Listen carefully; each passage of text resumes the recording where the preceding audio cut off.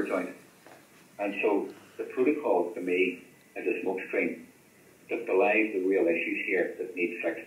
And that means it's not like the health service is being closed down. It's just bigger structural decisions can't be made. Are there areas that you know of that are calling out for decisions that simply can't be taken as a result of the lack of an executive?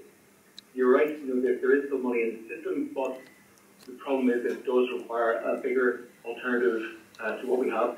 So I believe in the past 20 years there's been seven reviews of healthcare in Northern Ireland. Peaceful and democratic fashion. And if I could respectfully say, we look across the water and we see the mess that Brexit was and is, the lack of clear planning, conversation and engagement and what that resulted in. And let me tell you, we will not repeat that fiasco on the island of Ireland. What is more important to Sinn Féin in Northern Ireland? Is it keeping the Northern Ireland protocol or is it getting the Northern Ireland government, the executive, up and running? Because they seem at the moment to be mutually exclusive.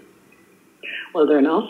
the, the, they are to the unionists, aren't they? And they have well, to play. Well, that's it. Well, that's it. No, that's a different assertion. The, the imperative is to get government up and running.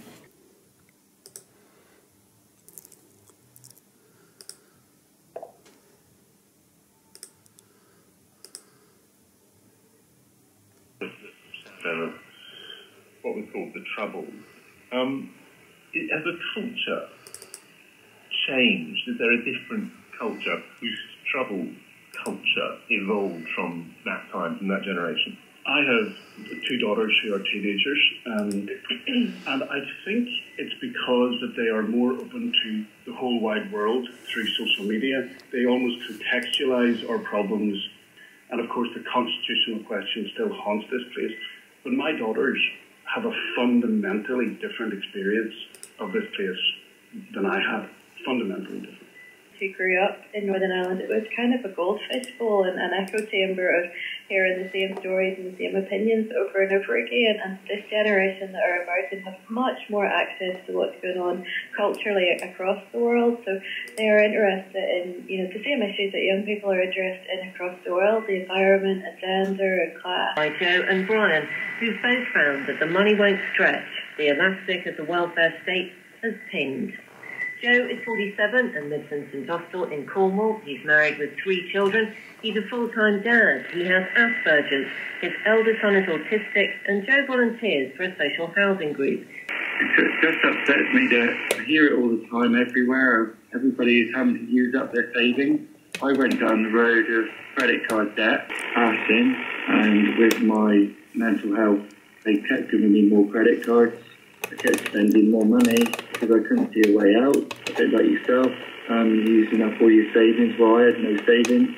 I have a family, I have an autistic child that doesn't understand that you need to switch lights off. I got to a point where I've now had to enter what's known as a, a debt relief order, which is a horrible thing to do, but I just couldn't see another way. And now with the cost of living crisis, I can just see it getting worse. It just makes me sad to see it. I don't know whether you have the same feelings, like with everything that's going on. When, you know, you get a multi, multi-millionaire, Rishi Sunak is telling you we're giving you £200, but you're going to have to give it back. He never had his own goods. They're taking us for fools. It's very annoying